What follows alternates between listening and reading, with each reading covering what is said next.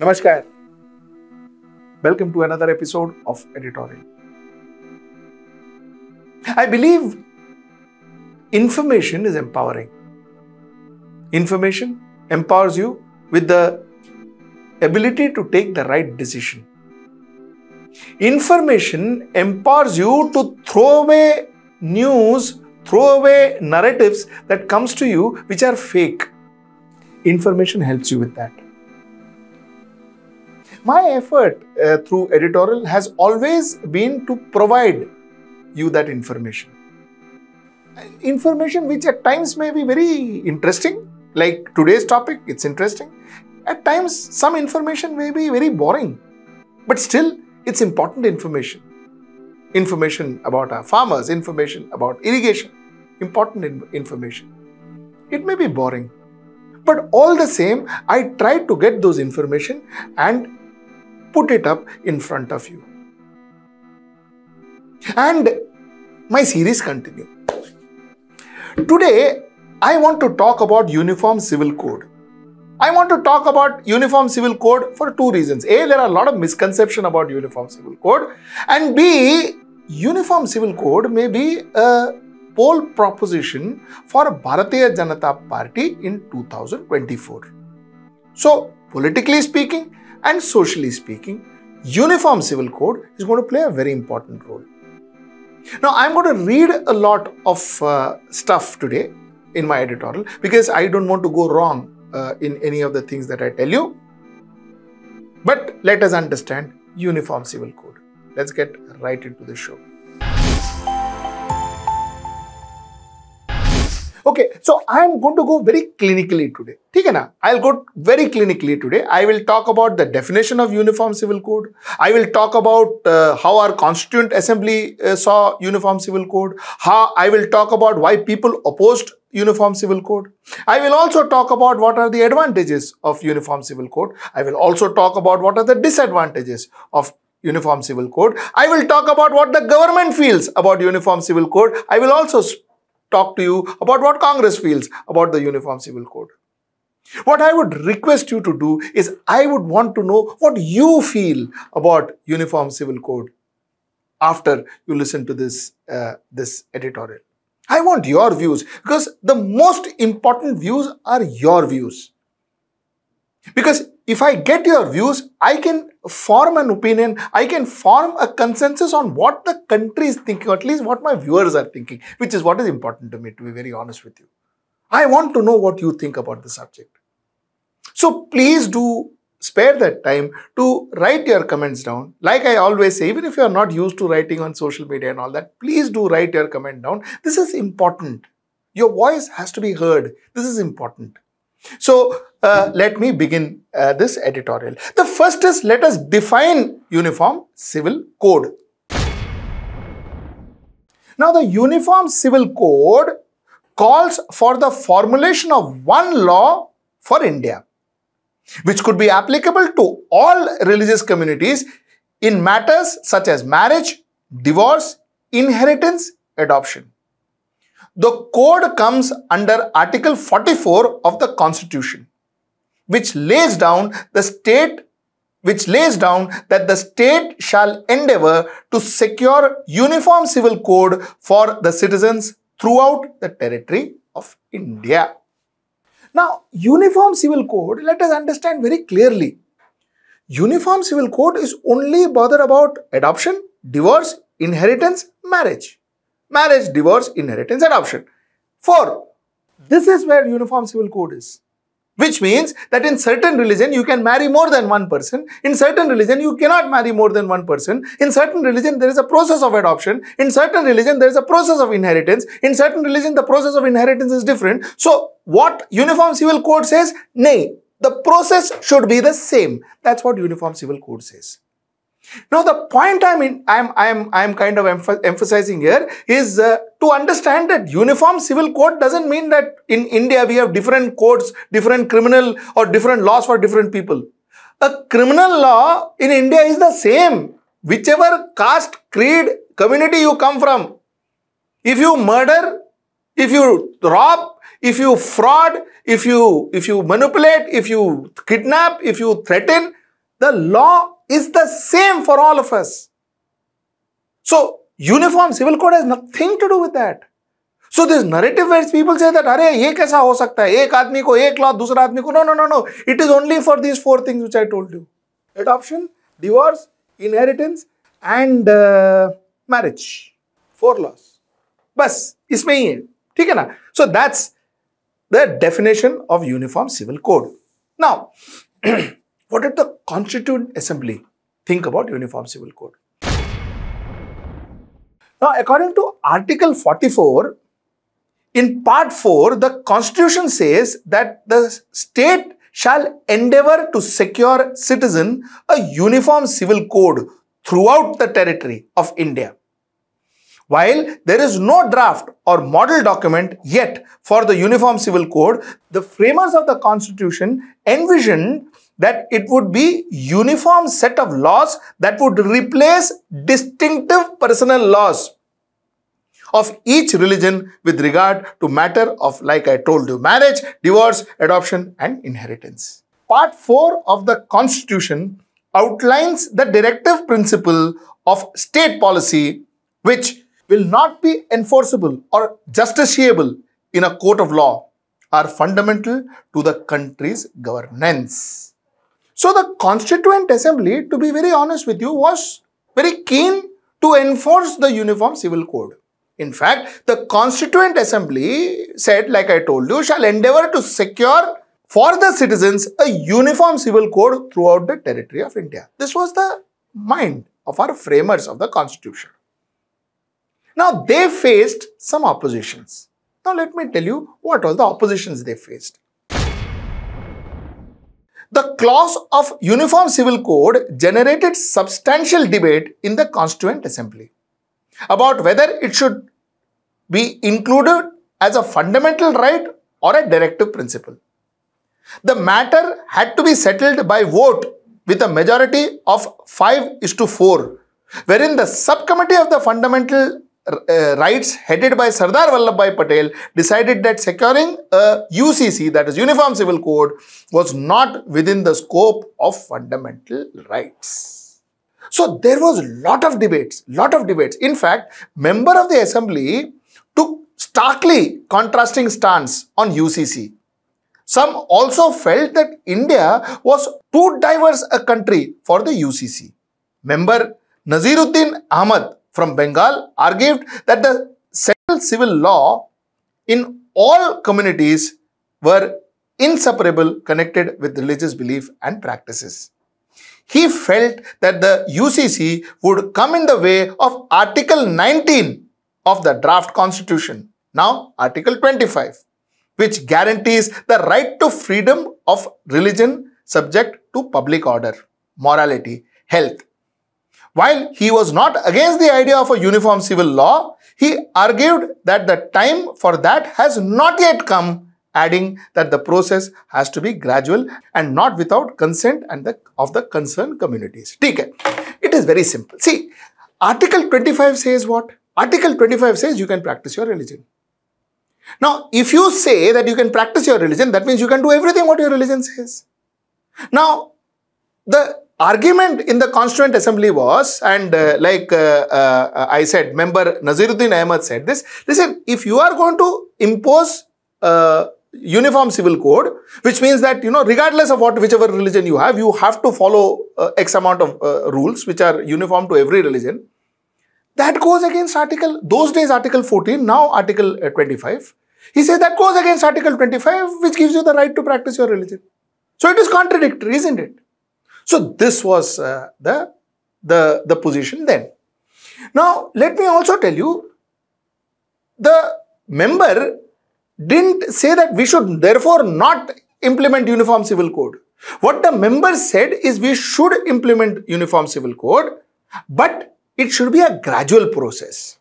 And very clearly, a process where you have consent of every community. Then you implement Uniform Civil Code. So this was the view of the Constituent Assembly.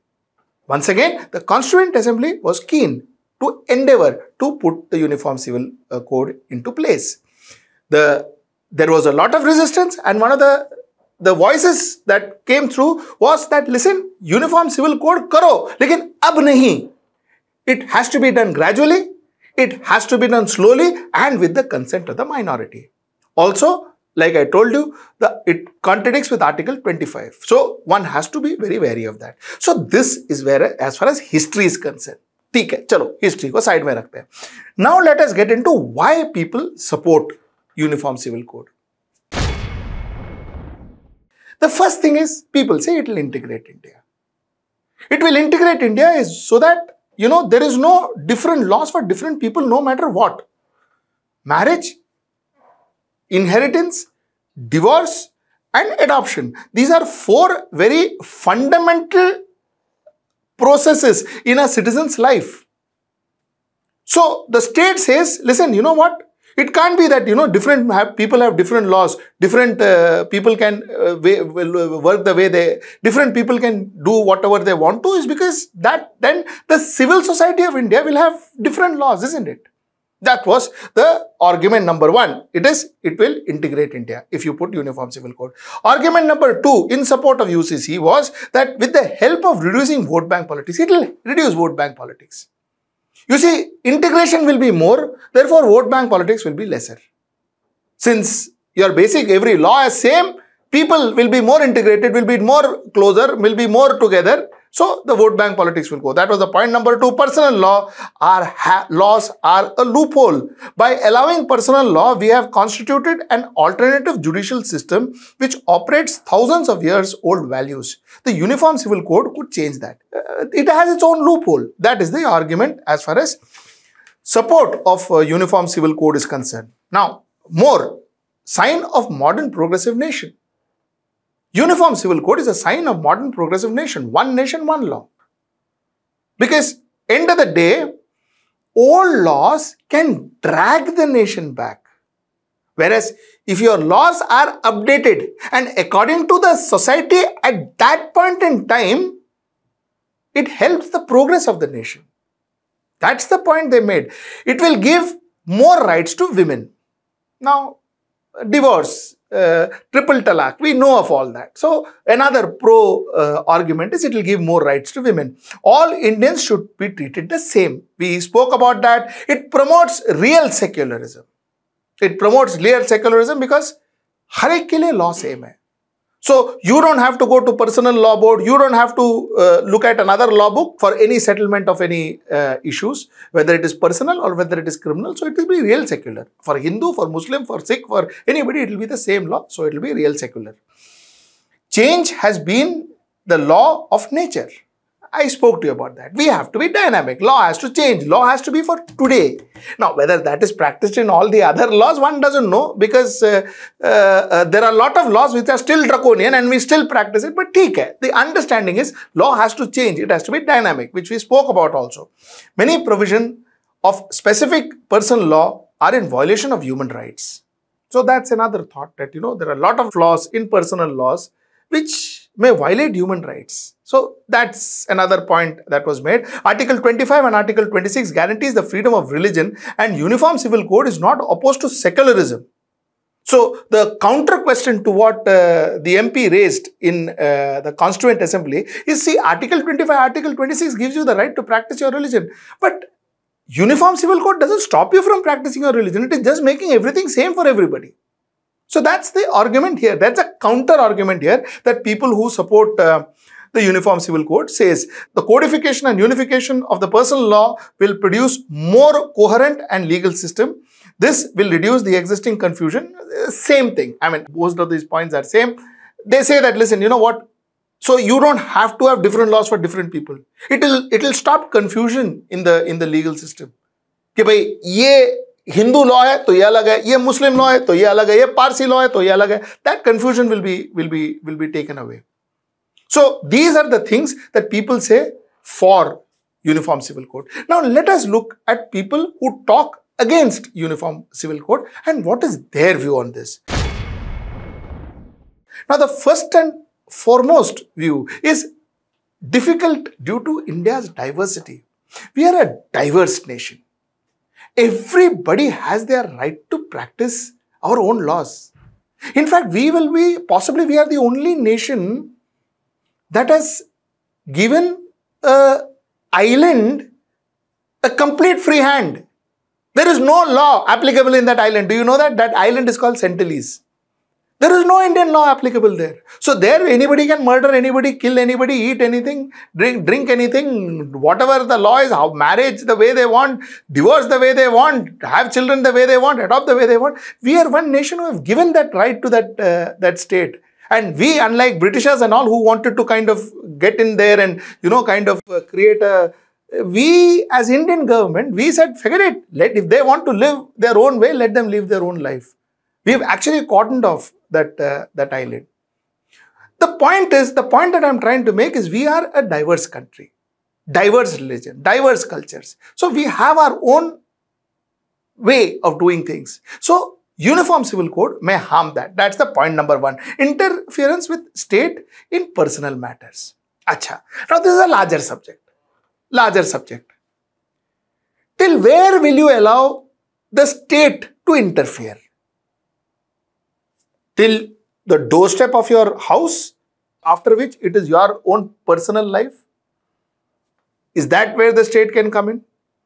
Can the state enter your relationships, which is your marriage, your bonding with your child, your adoption of a child? Can the state interfere there? Can the state interfere in who you want to give, whether you give a son, whether you give a daughter? Can the state interfere? This is a question that needs debate. Because to a certain extent, yeah, I mean, somewhat, some people will say, yes, giving a son and not giving the daughter is wrong. That is that was pra a practice at one point in time. Maybe having multiple spouses is wrong, is what someone would say. So, who decides and how much can the state decide for you? Where does the state end and the personal individual freedom begins? That's the question that uh, they ask. People from different communities are not willing to adopt uh, the secular laws separated from personal laws. They are not willing to accept. Some people say, मेरे को नहीं करने का Now, how do we tackle that? Remember Constituent Assembly? They had said that, you know, take time, do it, take your time, but take consent from the community. Take consent from the community. The people say communities are not willing to consent even now. That's another point. Every religion will say that it has the right to decide various issues on matter of personal law. Like I told you. So, more or less, it is the same thing. Religion does not want. Broadly, it is like this. Broadly, it is like this. One set of people say that, listen, you know, it will integrate the country. Uniform civil code is not to divide the people. Uniform civil code will unite the people. A lot of people say that Constituent Assembly में बोला था कि uniform civil code should be endeavored. We should endeavor to put uniform civil code. Our uh, founding fathers, the, the framers of our constituent, uh, constitution had also said that we should endeavor that. There was argument, there was debate, there was a, a lot of uh, uh, uh, objections to it. But end of the day, even the objections were concluded that listen, we will do it not now at a future date, but with the consent of the community. So that is how it ended. That is what uh, uh, one set of people will say. The second set of people will say, Bhai, kitna karoge yaar? It is my life. I follow my religion. My religion says I can do this when I get married. I can do this for adoption. I can, I can, I can give my inheritance to X. I can, I don't need to give my inheritance to Y. How much will you interfere in my life? Criminal law is the same. If I commit a crime against anybody, it is the same. It is the same for a Hindu, it is same for the Muslim. But how much should I give my son or my daughter is my choice. No, some people will say that. Some people will say that, listen, you know what? You are going against, again, Article 25. Why? Because, are, it is my religious freedom. You gave me that religious freedom. The constitution gave me that religious freedom. Now you are saying that religious freedom to hai, lekin ye, ye religion ka follow nahi karne ka. How is that fair? So these are the two views, uh, very clear views. Okay, now um, let's talk five minutes on judiciary. How does the judicial system see this? Okay, the Supreme Court in various judgment has called for the implementation of UCC. The Supreme Court has been kind of pro Uniform Civil Code. In its Muhammad Ahmad Khan versus Shah Banu Begum judgment in 1985, where a divorced Muslim woman demanded maintenance from her husband, the apex court, while deciding whether to give uh, prevalence to the CRPC to the or to the Muslim Law Board, called for the implementation of Uniform Civil Code. Shah Banu case is famous, so everybody knows about it. Okay, where the Supreme Court said no, CRPC versus uh, uh, Personal Law Board, they said let's go for a Uniform Civil Code. Let us have one law for everybody. So Supreme Court has been traditionally has been for uh, uniform civil code. Now, what is the Law Commission saying? Now, the Modi government in 2016 requested the Law Commission of India to determine how to form a code in the presence of thousands of personal laws in the country. In 2018, the Law Commission submitted a 185 page consultation paper on the reform of family law. The paper stated that a unified nation did not necessarily need uniformity, adding the secularism could not contradict the plurality prevalent in the country. In fact, the term secularism had meaning only if it assured the expression of any form of difference, the commission noted.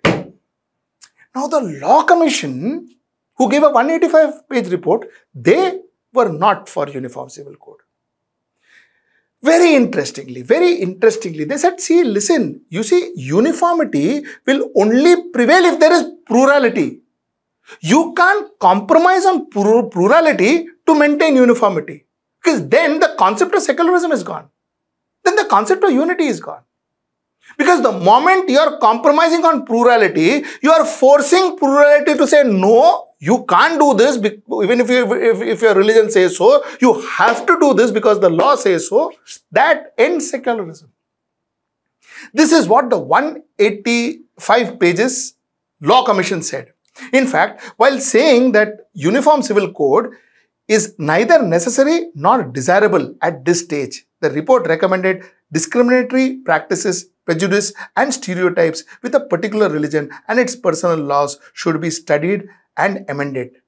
The Commission suggested certain measures in marriage, divorce that should be uniformly accepted in the personal law boards and of all religion. Some of these amendments included fixing of marriageable age of the boys and girls at 18 years so they are married as equals, making adultery a ground for divorce for men and women and simplifying the divorce procedure. It also called for the abolition of the Hindu undivided family as tax exempted entity. So, very interestingly, this commission, this commission said that, listen, you know what? Other than getting a uniform civil code, they said it is not the right time even yet. Other than getting human uh, uniform civil codes, let's look at personal laws in these personal communities uh, uh, certain community, let's look at personal laws. And let us uniform certain laws like you can only marry after the age of 18. If you marry before the age of 18 for girls and 21 before for guys, you it is illegal. The marriage is illegal. It also spoke about, you know, you can't have uh, uh, HUF, Hindu Undivided Family, as a tax exempted entity. So he said, they said, listen, don't look at the law in totality. Ek din mein chalo, sab, uniform, done. Aisa mat karo. You take each community, you look at specifically study those communities, study those laws, understand the flaws, try to correct those flaws. Make divorce processes easier. Make ensure that uh, you know divorce processes uh, the the wife or the person who is who is uh, dependent dependent is taken care of you know, take care of all of that. Take care of those, those issues other than changing the law. This was what the Law Commission said. Very interesting. Now, let us take the government stance. Let us understand what the government said. The government has been very clear. You see, it has been a long time promise uh, of uh, Bharatiya Janata Party to bring about the Uniform Civil Code. So that is there. So the government believes in Uniform Civil Code. That being said, Kiren Rijiju, the then uh, Justice Minister, he had made a statement in the in the house that listen you know what? We have not put up a panel and all at the moment to uh, bring about uniform civil code. Uh, but as yeah as a government I'm, i think they always believed bharatiya janata party always believed that it has to be there has to be one man and one law. This is government stance. What congress and the opposition is saying is congress and the opposition saying that listen you know what 21st uh, commission 21st Law Commission, I told you, you go individually, check what are the flaws, check what are the loopholes in personal law. Let us try and understand personal law. Let us try and understand the loopholes. Let us try and correct it. Let us first bring about that change. Why aren't we doing it? That is what the opposition says. The 22nd Law Commission of India decided to solicit views and ideas of the public at large and recognized religious organization about the Uniform Civil Code. So this is what Uniform Civil Code is. I hope I've narrated the concept to you. And now, like I told you, I request you, please write your comments down. Write, talk to me, tell me your comments, give me your views. Give me your views on Uniform Civil Code. Give me what you think. Tell me what you think about Uniform Civil Code. And uh, I will be waiting for that. I will really be waiting for that. Until I see you next time. That's tomorrow at 10. Namaskar.